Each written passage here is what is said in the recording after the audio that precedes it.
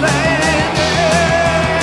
Mercury's the little planet that's closest to the sun. It only takes 88 days Mercury to orbit the sun. Now Venus is a beautiful planet, but it's too hot to live there. And Venus are famous. Jupiter and Saturn, are big ones. Uranus and Neptune. Those are the planets.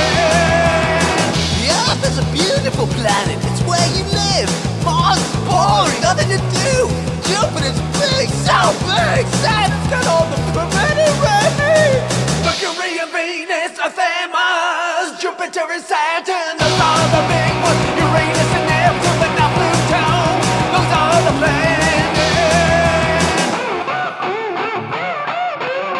Uranus is a pretty blue planet that spits funny.